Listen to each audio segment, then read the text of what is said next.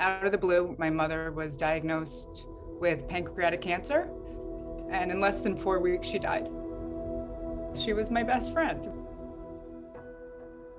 Not being able to be with her, being a support for her, I couldn't see my friends, I couldn't hug my family. It was just really, really hard. I just felt like it would be such a powerful exercise for her to put on paper so much of what had been going through her head.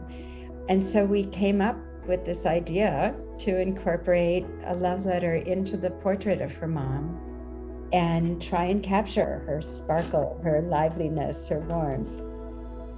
I basically locked myself in a room and just let it all pour out. I think what's captivating about the portrait of her mom is the eyes. And the text floats over parts of her face and around the edges of the canvas.